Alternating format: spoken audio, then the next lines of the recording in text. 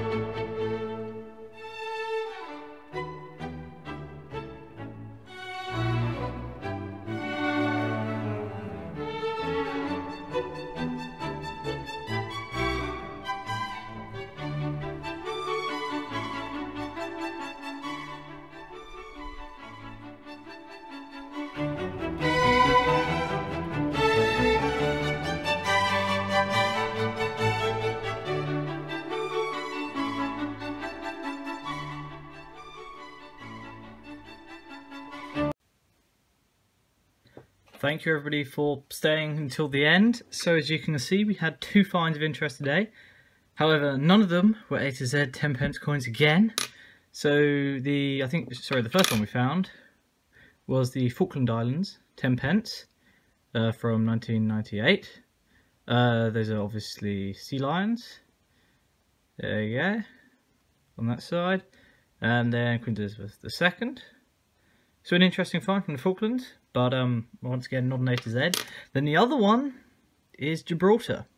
So it's got the rock in the background, obviously famous from Gibraltar, and then the well, the area itself. Europort.